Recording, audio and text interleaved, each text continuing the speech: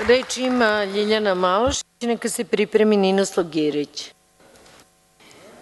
Poštovana predsednice, poštovana gospodo poslanici, pre nego što krenem sa izlaganjem, želela bih da čestitam veliki srpski praznik Sveta Petku svim pravoslavnim vernicima i zaštitnicu žena, naravno. Danas ću govoriti o Predlogu zakona o izmeni Zakona o sudijama. Za ovaj zakon je 199 poslanika ovog doma upravo podnelo zahtev za promenu. Ustavni osnov za donošenje ovog zakona o izmeni Zakona o sudijama sadržan je u članu 148 stava 3 Ustava, kojim je predviđeno da se postupak, osnovi i razlozi za prestanak funkcije sudija uređuje zakonom. Članom 59 upravo je bilo propisano na koji način se određuje životni vek sudija. Naime, prvi postulat, odnosno prvi zahtev, odnosno uslov za penziju bio je godine starosti, a to je 65 godina, a drugi koji se i menja je bilo 40 godina staža osiguranja.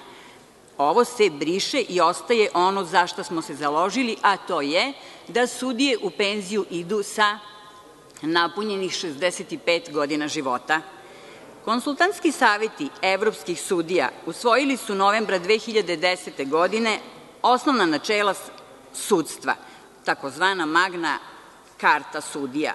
Nezavisnost sudstva se garantuje u pogledu aktivnosti sudija, njihovom dostojanstvu, naročito u pogledu zapošljavanja, imenovanja, do starosne granice za penzionisanje, napredovanja, određivanja plate, discipline, imuniteta, obuke i finansiranja sudstva. Takođe, 1985. godine Ujedinjene nacije su takođe donela načela koja su vrlo slična načelima Evropske unije. Zašto je neophodno doneti i izglasati ovaj zakon po kratkom postupku? Upravo zato što mi pripadamo i kao član Ujedinjenim nacijama i Savetu Evrope.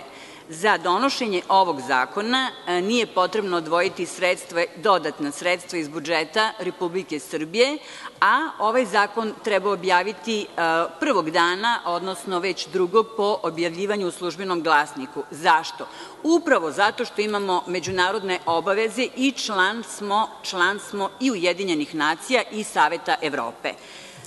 Drugi zakon, takođe, Predlog zakona o izmenama Zakona o javnim tužilaštvima govori o, jedan deo se odnosi na penzionisanje javnih tužilaca i njihovih zamenika. Šta to znači? U članu 157 stava 1 je regulisan način na koji se to određuje, a član 161 stava 5 se upravo menja. Po ovom članu jedan od uslova za odlazak u penziju je bilo da tužioci imaju 65 godina, ali postojala su još dva uslova.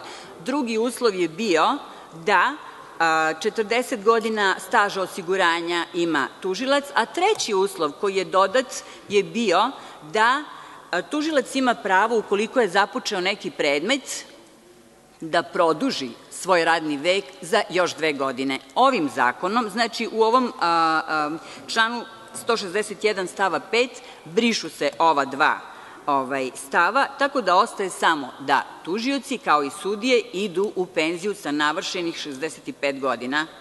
Za ovaj zakon takođe nije za, za ovaj zakon takođe nije neophodno odvajati budžetska sredstva.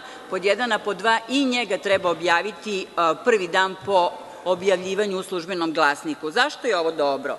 Zato što masa pripravnika radi bez stalnog radnog odnosa, položili su sa najvišim ocenama pravosudni ispit i sada ćemo imati šansu da te ljude zaposlimo. Ovaj zakon, naravno, Srpska napredna stranka će u danu za glasanje glasati za. Hvala na pažnji.